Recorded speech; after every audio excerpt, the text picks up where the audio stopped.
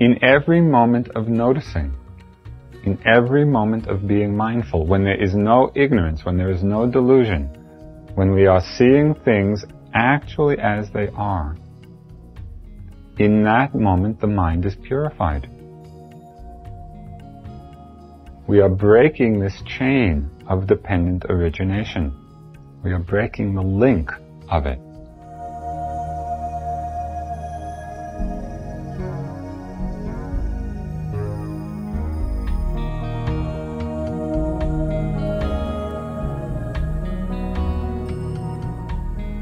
Welcome to the Joseph Goldstein Insight Hour. This podcast is an expression of our shared interest in self discovery. Join Joseph as he shares his deep knowledge of the path of mindfulness. If you are interested in supporting this podcast, please go to BeHereNowNetwork.com slash Joseph.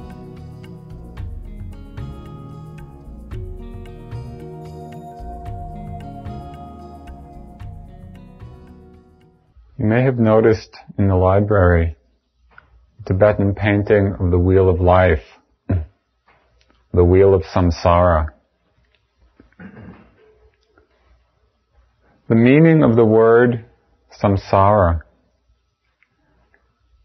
is perpetual wandering. In that painting, it depicts the cycles of existence of perpetual wandering through all the realms.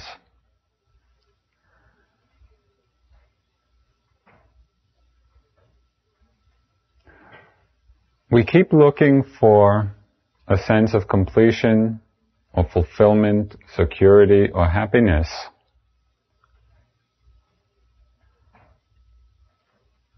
Not understanding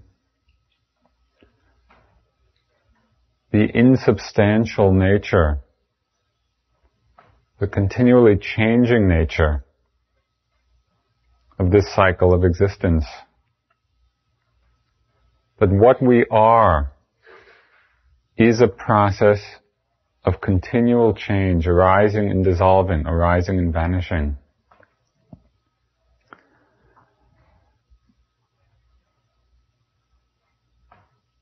In the human realm,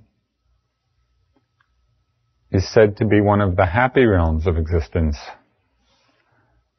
This wheel of samsara, this wheel of perpetual wandering, unfolds through different realms, some of great happiness, some of great suffering. And what's said to be of most consequence, or most of greatest importance, in this cycle of samsara is the phenomena of birth and decay and death,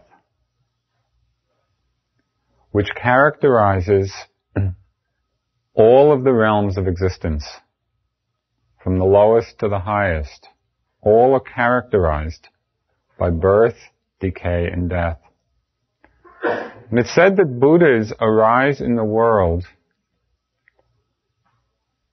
for the express purpose of penetrating or understanding the root causes of these phenomena. What is the cause? What are the conditions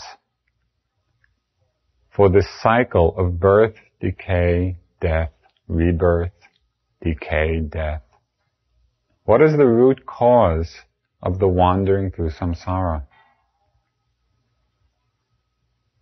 On the night of the Buddha's enlightenment,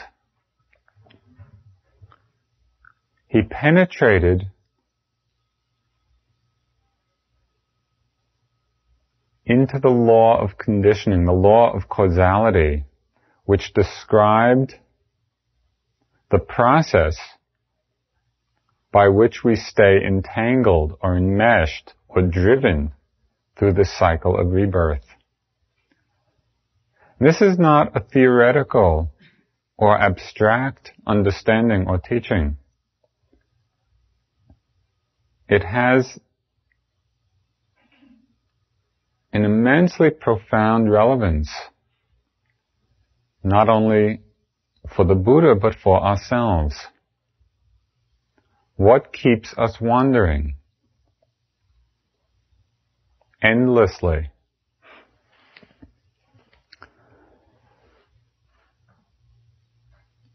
It's said that listening to the Dharma is actually a component of meditative practice. Because when we listen attentively, and when we listen in a way that connects the words to our experience, it actually has the power to liberate. Tonight's talk will be a good test of your ability or willingness to listen attentively. So I'd like to talk about this law of dependent origination, this law of causality, of conditioning. So we can understand the process by which we stay bound to this wheel of life, this wheel of samsara. The Buddha once admonished Ananda, who was his attendant,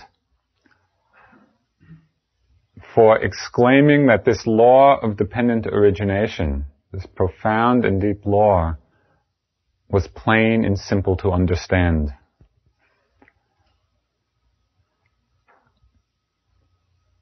On one level, it's plain and simple, and yet its meaning is exceedingly deep and profound. So see if you can stay with the various links in this chain.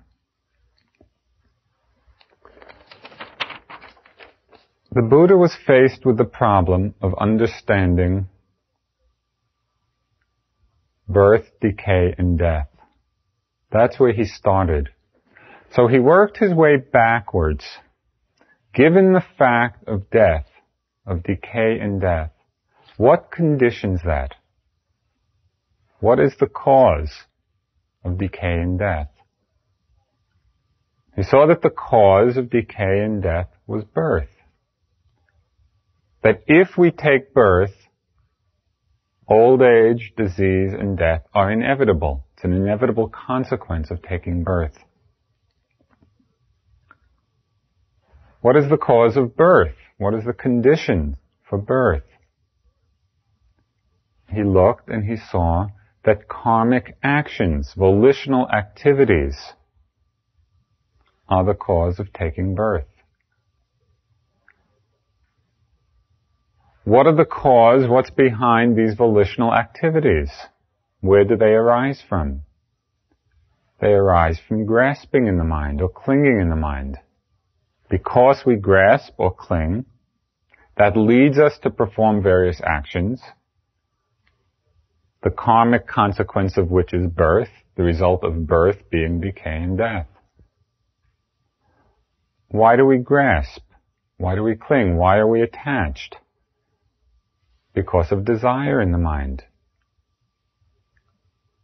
Why is there desire in the mind? Why is there that craving in the mind? Because there are feelings. Again, feeling in the Buddhist sense of pleasant, unpleasant, and neutral. We crave for pleasant feeling. That desire leads to grasping. That grasping leads to action. That action leads to rebirth. Leads to decay, leads to death. Why are there feelings? Feelings arise out of contact. Contact with the sense objects. Where does contact arise from? It arises because we have the sense organs, the sense bases. If we didn't have the sense bases, there could not be contact. Where do the sense bases come from? They come from having a mind and body we didn't have a mind and body, there would be no sense bases, there would be no contact, there would be no feeling, there would be no desire, there would be no grasping, no karmic actions, no birth, no decay, no death. Why do we have a mind and body? Because of rebirth consciousness. Because we took birth. Mind and body, sense bases, contact feeling, and so forth. What conditions that rebirth consciousness? Volitional activities in the past life. Because we performed all kinds of actions. There was a karmic energy involved which led to rebirth. What conditioned those karmic actions? Ignorance. When he traced it all the way back from the present fact of death, traced back all of these links, he saw that the root, the root cause, the basic condition for that whole chain unfolding is the fact of ignorance.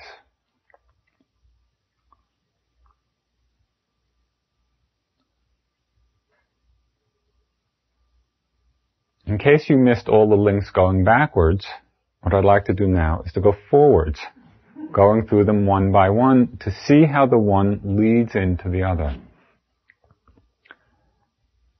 And again, it's important to listen to this to understand it not as an abstract theory, which may be interesting or not depending on your inclination,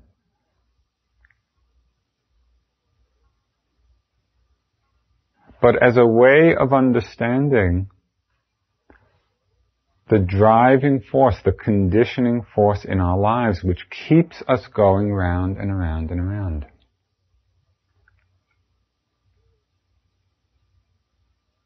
It really pertains very exactly and deeply to the question of bondage and the question of freedom. So what is ignorance? There are two kinds of ignorance. There's the ignorance of non-practice and the ignorance of delusion. Two aspects of this factor. The ignorance of non-practice means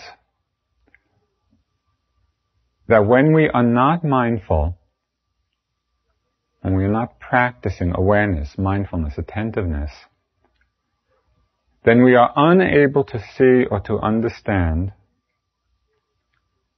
that everything is in a process of continual change. That what we are is this process of consciousness and object, knowing an object, arising and vanishing 17 trillion times a moment, Nothing substantial, not referring back to anybody. That what we are is this process of constant dissolution. When we're not mindful, we don't see that. And so ignorance then gives rise to the illusion of woman or man or person or being or body or arm or leg. It gives rise to concept the concept of self.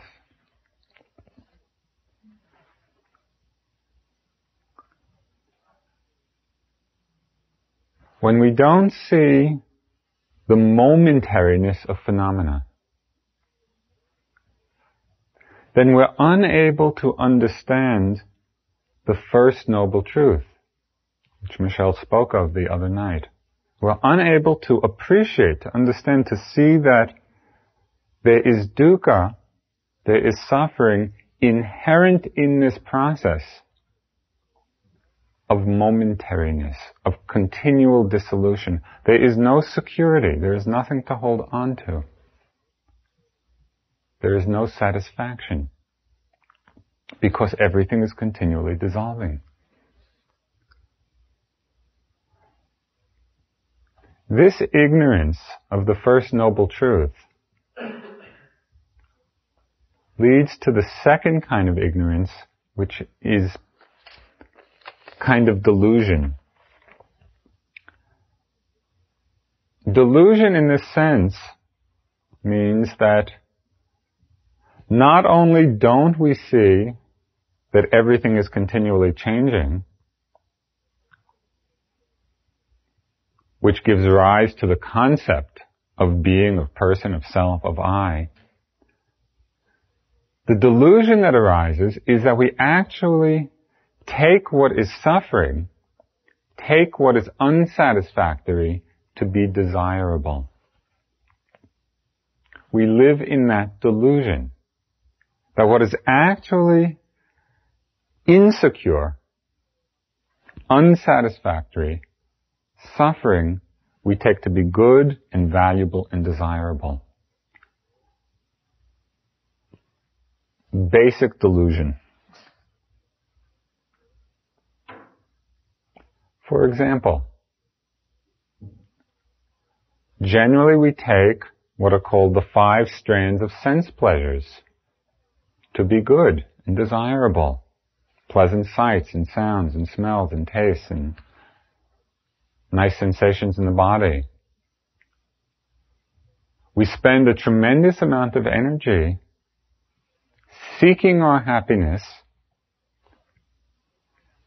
in the acquiring or gaining or holding on to these, these five sense pleasures. We value them. We think that they're important.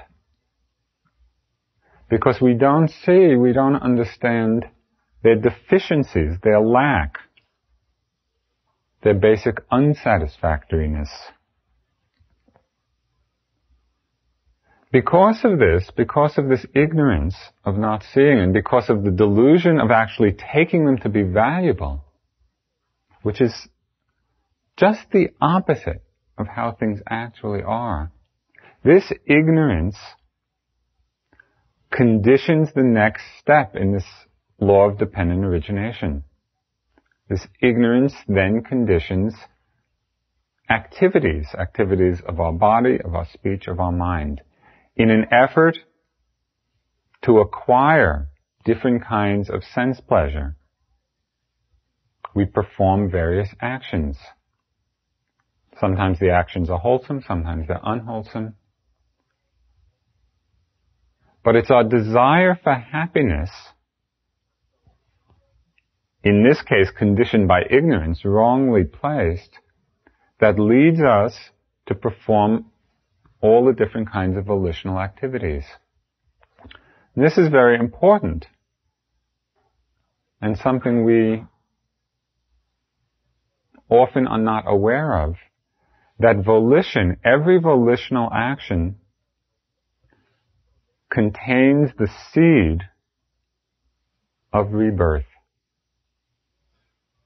Volition is an extremely potent factor of mind. It's like an apple seed which contains potentially, it has the potential for creating an apple. The seed has the potential of the fruit within it. Volitional action has the potential for bearing the fruit of its particular karma. So because of our ignorance, because of taking what is undesirable to be desirable, what we value, we perform all of these actions, then these actions become the conditioning force for rebirth. Because they contain within themselves, they contain within that moment of volition the seed of future birth.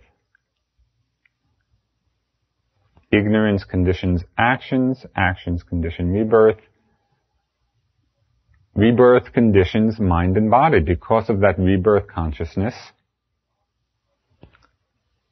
there's the development of the mind and body from the moment of conception. And this mind and body develops and grows. Because of the mind and body, conditions the sense bases. That is the eye and the ear and the nose and the tongue and the body and the mind.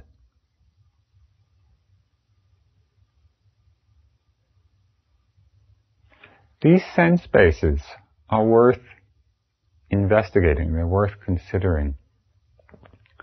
they're not simply apertures, they're not just holes in the body. There's another quality to these sense bases which characterizes them, and that is they are the sensitive media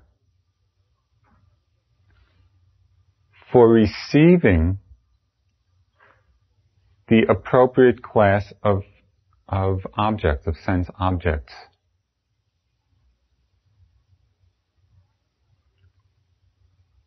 The eye is the sensitive media for receiving light, the ear for sound, and each one, obviously, is sensitive to its own particular class of objects.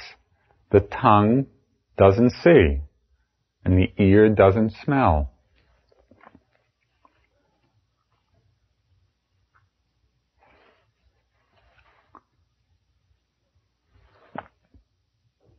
Because of rebirth consciousness, there's the mind and body. Because of the mind and body, these six sense bases arise. Because of the six sense bases, there is contact. Without them, without the eye and ear and nose and tongue and body and mind, there would be no contact possible. And contact means the stimulation of the sense base which is a sensitivity. Contact is the stimulation of that sensitivity by a particular object.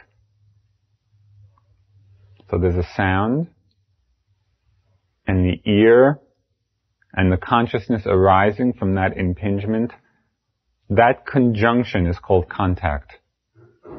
The object, the sense object, the sense base, and the consciousness arising from it.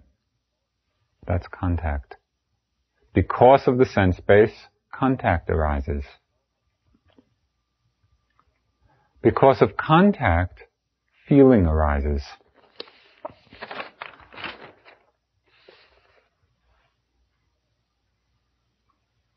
These feelings of pleasant, unpleasant, or neutral play a very critical role in this chain of dependent origination. Because up until this point, we're experiencing the results of our past karma. It's because of past volitional activity that there was rebirth consciousness and mind body and six sense bases and contact and feeling. There's nothing we can do about that. That's all resultants. But it's just at this place, in this law of conditioning, conditionality, that there's a possibility for breaking the chain of conditioning. Because of contact, there's feeling. In every moment of contact, it's inevitable. A feeling will be associated with it. Every sight, every sound, every thought, every sensation, every taste, every smell, it's either pleasant or unpleasant or neutral. That feeling comes automatically. When we are not mindful, when we are not attentive and aware, then the feeling conditions desire, conditions craving.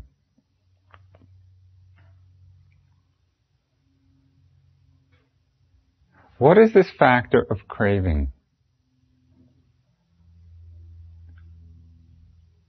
Craving is a hungering or a thirsting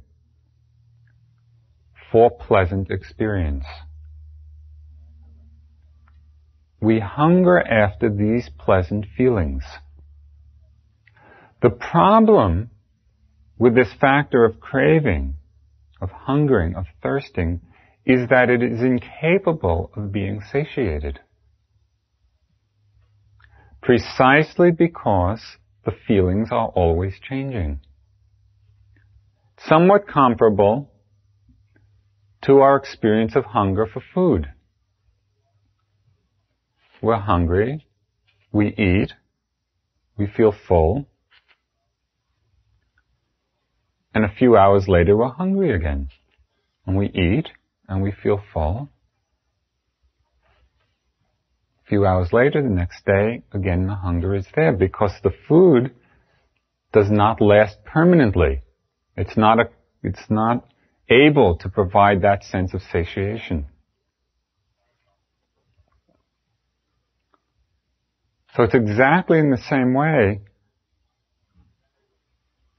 that when we don't understand the nature of the mind and the nature of our desires, we keep looking to fulfill our craving for pleasant feelings with something that is incapable of bringing us to a place of completion. There is no end to it.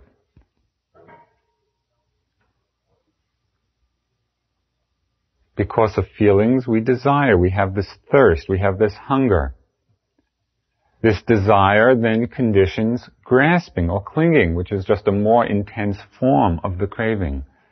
Craving is like reaching for something, and grasping or clinging is like grabbing it, holding on to it.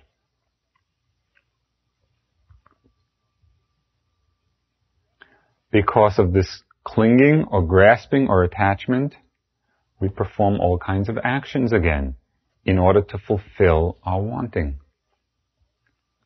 Some of the actions are wholesome, some are unwholesome.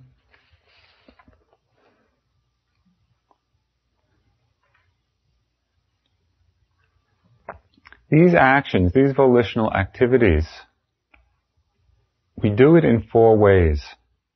And again, it's important to understand it because this link of volition, volitional activity based this time on grasping,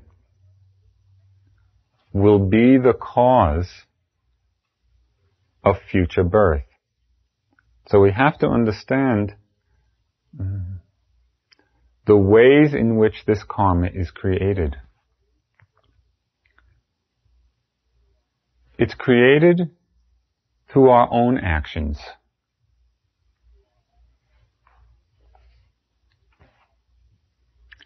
It's created by instigating others to act. There's a karmic force when we encourage somebody else to act, either in a wholesome way or an unwholesome way.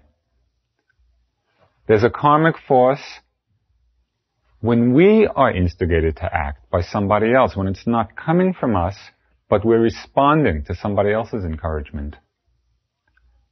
And there's a karmic force even when we commend an action, there's a force involved there because of the intention.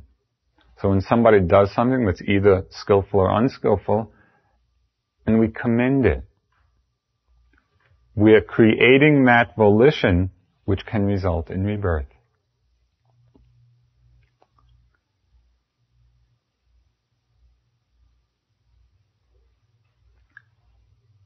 Because of feelings, there's desire. Because of desire, there's grasping.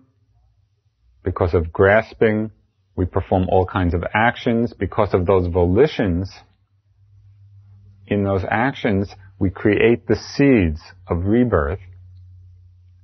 Because of rebirth, there's again decay and death. And so we go around in this cycle.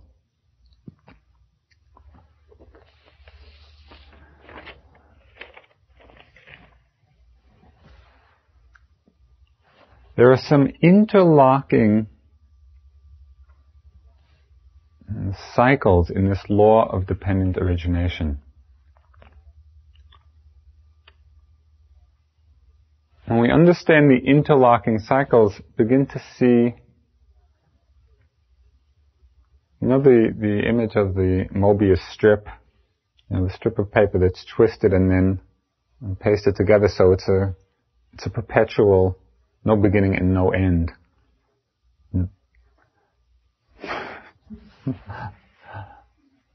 That's this law of dependent origination. The cycles involved in it, the cycles which keep us wandering perpetually, start with the cycle of defilement.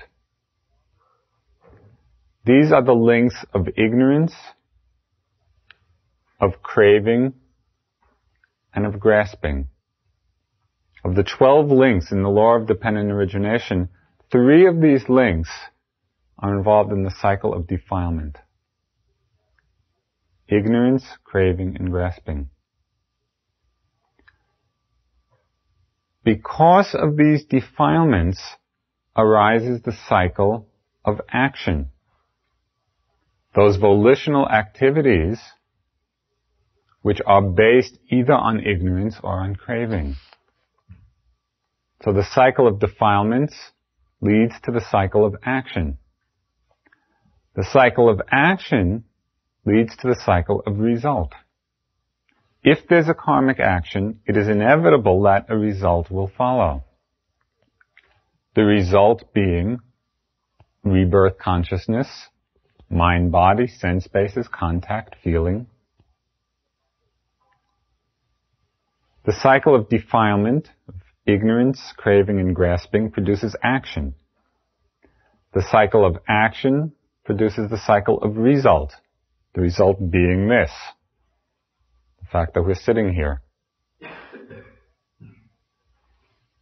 Because of the cycle of results, because we have a body and sense bases and contact and feeling, new defilements arise. Because feelings condition craving.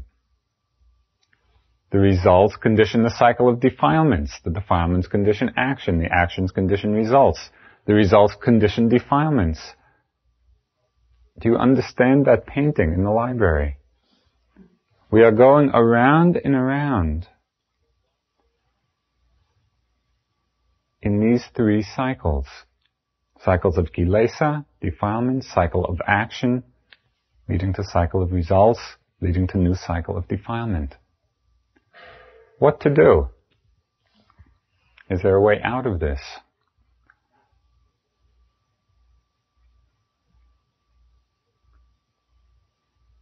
The greatness of the Buddha's enlightenment was not only his able to see so clearly this mm, chain of conditions, this chain of causality, which keeps us bound in these three cycles, he was also able to see how it's possible to free ourselves from it.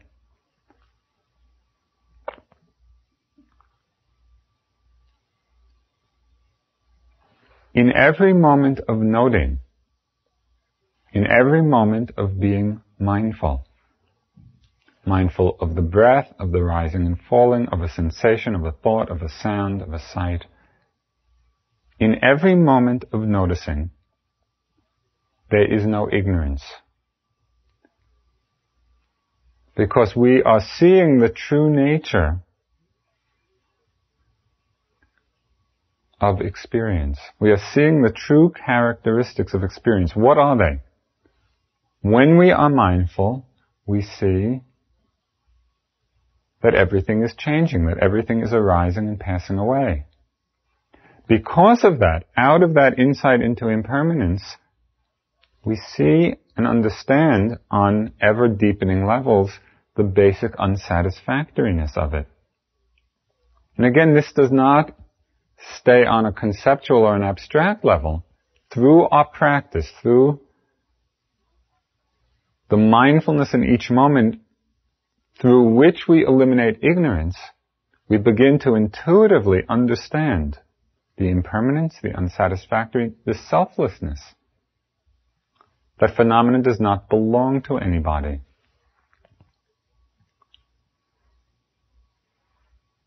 When this ignorance is not present, then we are not led to desire or grasp or become attached to this phenomena, the phenomena of the six objects. I'll give you an example of how this works. A couple of years ago, I bought a very beautiful little carpet, which is upstairs in my room now, for those of you who come for groups. Nice, I think it's a Pakistani or a Kashmiri carpet. Very beautiful, I thought. And one time I was doing, mm, I was on retreat and I was, I was using it as a meditation carpet. And I was just looking at it and admiring it so much. I loved the carpet. And the more I looked at it, the more I liked it. It seemed to me the perfect carpet.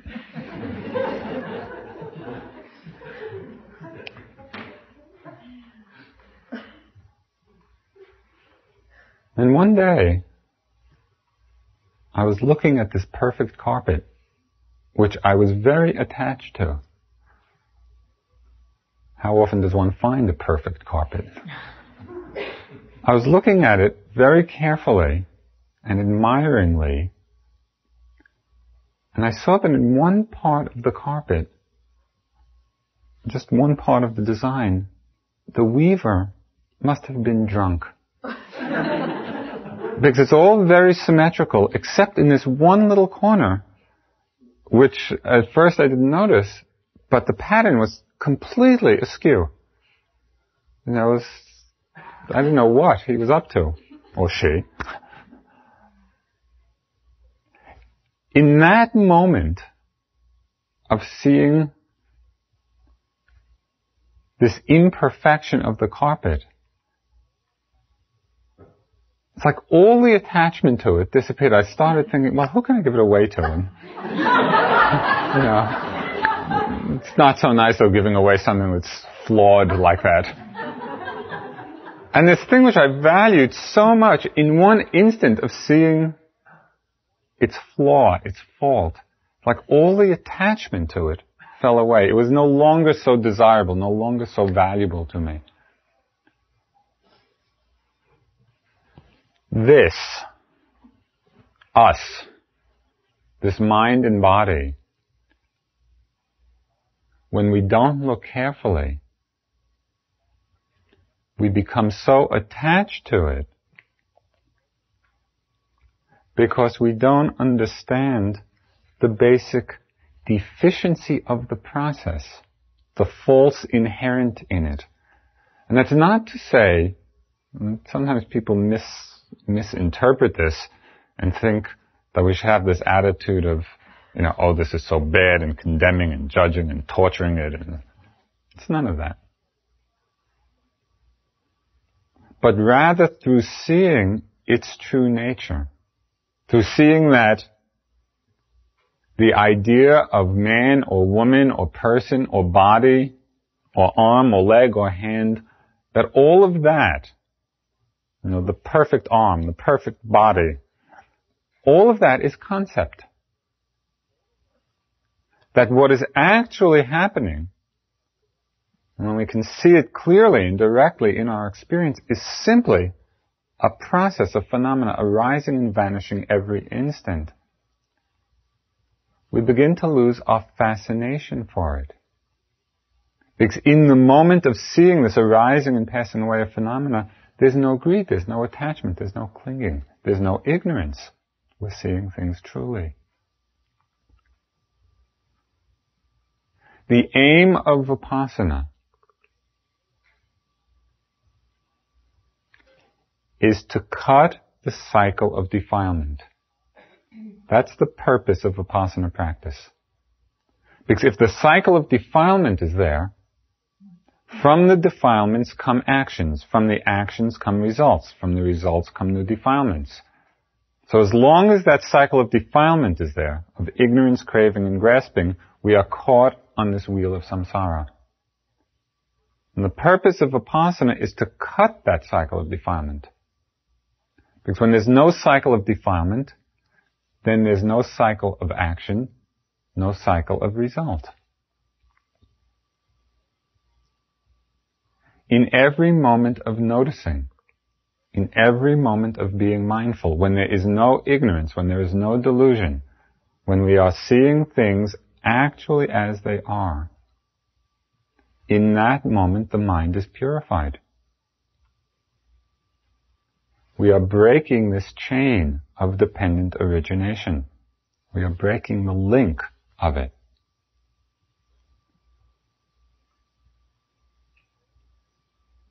And so instead of contact, conditioning feeling, conditioning desire, contact conditions feeling, which we can't help. We have that as a result. Contact conditions feeling, conditions wisdom. If we can be mindful in each moment, aware of the object, aware of the feeling, is it pleasant, is it unpleasant, is it neutral, and we're aware of that, the awareness prevents the arising of desire. Without desire, there's no grasping. Without grasping, there's no karmic activity. There's no resultant rebirth.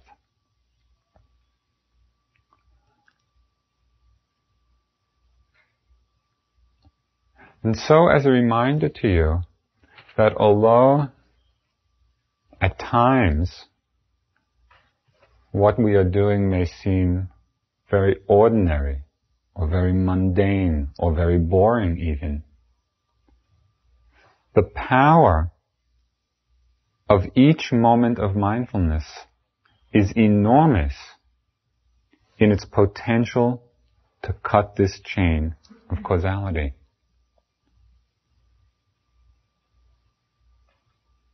And that is the place for us of realizing freedom. Freedom from samsara. Freedom from this cycle of perpetual wandering. Do you have any questions?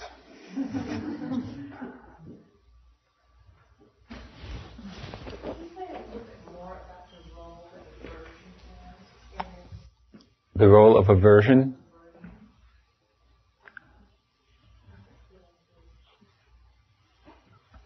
Aversion and greed are basically two sides of the same coin. We have greed or desire for pleasant feelings when we're not mindful. We have aversion or anger or irritation or annoyance, all those forms of aversion, for unpleasant feeling. But in every moment of aversion, Right? The, the other side of that aversion for what is unpleasant is greed for what is pleasant.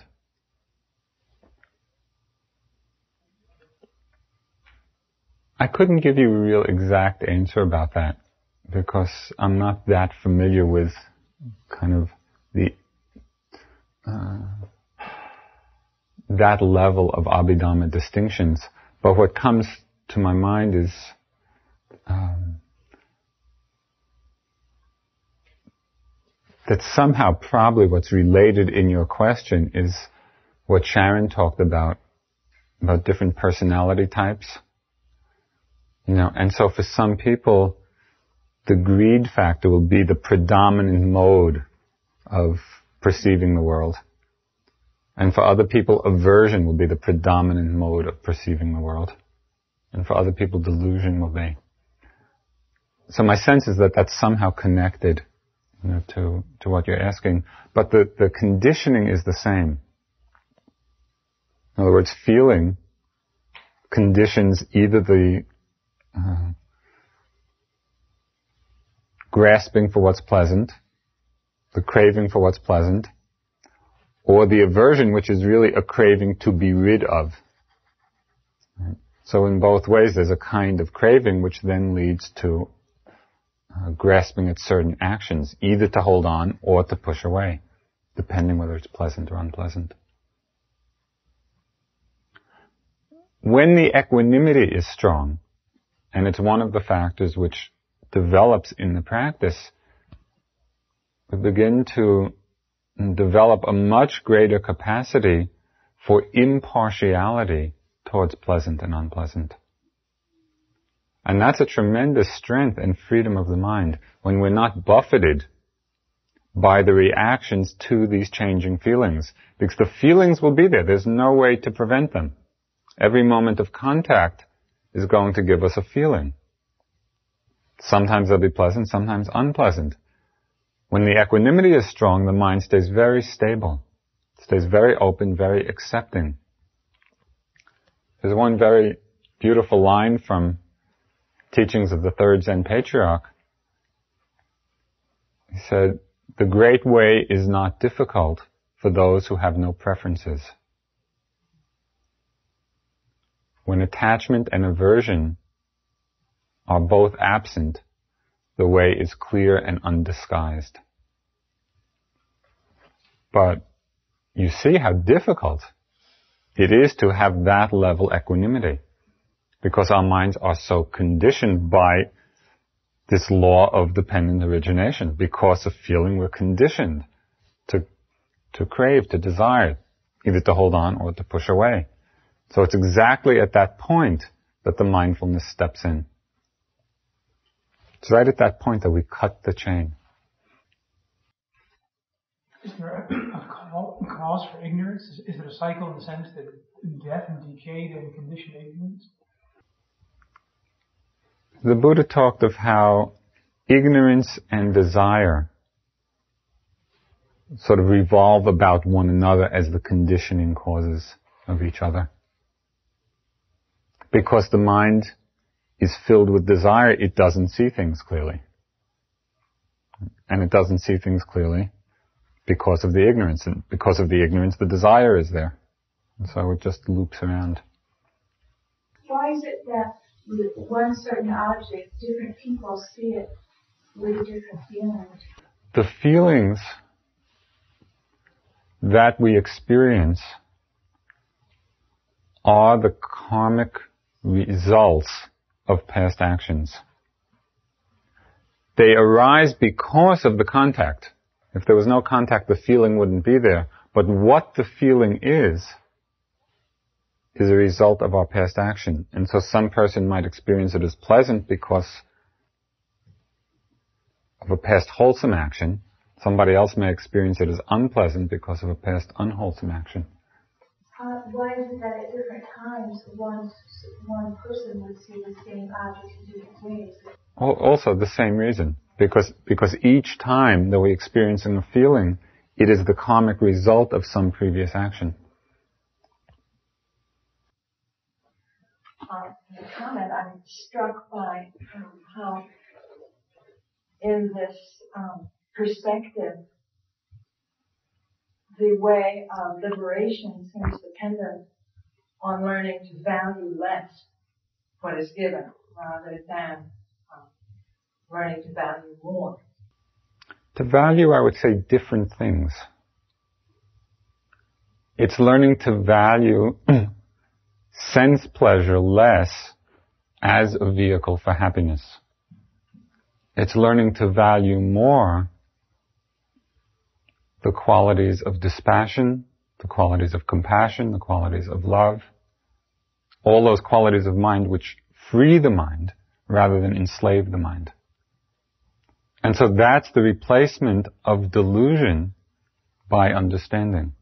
So that we value what is truly valuable rather than value what is not valuable.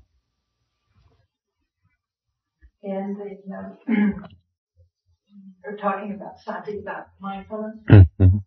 Uh, would you say then that in mindfulness is your response perception is unconditioned? Unconditioned in the. Uh, it's important to clarify what we mean by that word because in the Buddhist um, usage, it has a very specific meaning, which often is quite different than how we conventionally use the word. From the Buddhist perspective, mindfulness is conditioned. Everything, everything of this mind body is conditioned, and only nibbana is the unconditioned. Right? The cessation of this mind body process. there is the understanding that in, in observing something mindfully, you see it as it really is. Yes. So in that sense, it's not colored by projections or previous karma. Right. In, in that sense of unconditioned. That's right. Yeah. Unconditioned by previous. Right. You're seeing it as it truly is. Yes. And seeing it free of concept, seeing it free of wrong view. So, for example, there's the old familiar pain in the knee, you know, and, and you're watching it. When we're not mindful, we create a whole viewpoint, a whole incorrect viewpoint of my knee hurts and I don't like it. Right? So there's there's the wrong view or the, the concept that there's a knee and a leg and that it belongs to me. And based on that, there's aversion. There's the, the reaction of aversion in the mind. All of that is very different. And I know that you've experienced, you know, at times, the difference between that and experiencing it as a moment of burning, of tightness, of pulling, where all there is is the sensation and the knowing of it. There's no leg, there's no body, there's no self, there's no aversion. There is just seeing it as it actually is.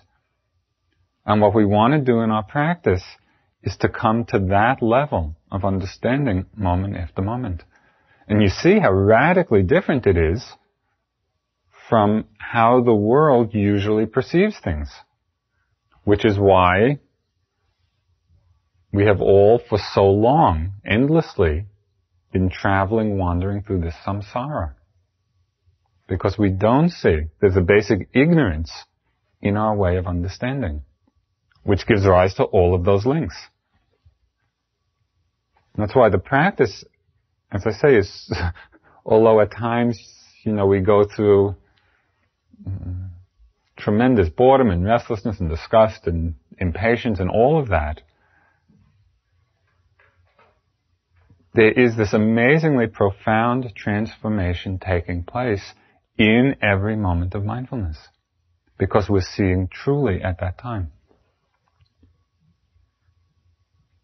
It's hard to imagine what would propel one to make any move in the world, having broken the chain of causality. What propels one becomes uh, the skillful states of mind, but which are not taken to be self, to be I. So for example, after the Buddha's enlightenment, the motive force was the force of compassion. But because there was no ignorance left, all of those actions, it's what's called, they become karmic, karmically functional. The Buddha's actions after his enlightenment was not wholesome karma. Wasn't wholesome, wasn't unwholesome, it was just functional. Meaning there was no result because there was no ignorance behind it. And so just the motivation becomes exceedingly pure at that time. It's just compassion manifesting. No one who owns the compassion doesn't belong to anybody. Compassion and love and, and all the skillful factors. And really that's where our practice is leading. So that this becomes a vehicle for that manifestation. Okay, one last question. Avoid concepts like me and body and male and female and all of that. Yet, my, my understanding of, of is that the Buddha didn't really ignore concepts like male and female and, and had different reactions toward maleness and female. One of the things I learned from my first teacher, Munindra, was that people would ask him all kinds of questions, and basically he used the questions as an opportunity to say what he wanted.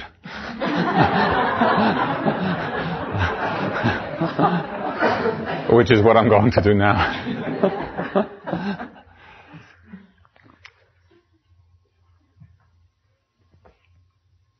I did not mean to imply that it's desirable or even possible to eliminate concepts from our lives. It's not. I mean, in order to function on this plane of existence, concepts are absolutely essential. And so it's not to invalidate or undervalue the role of concepts. Rather, it's to discriminate between the concept and the actual experience so that we're not deluded into taking the one for the other. We use concepts understanding that they're concepts. If we understand the underlying reality, then we're not deluded into becoming attached, into craving, into clinging. Yeah, so it, it, it's an, You did hear my question. for understanding how the Buddha related to the concepts of man or woman, I think you should ask the Buddha.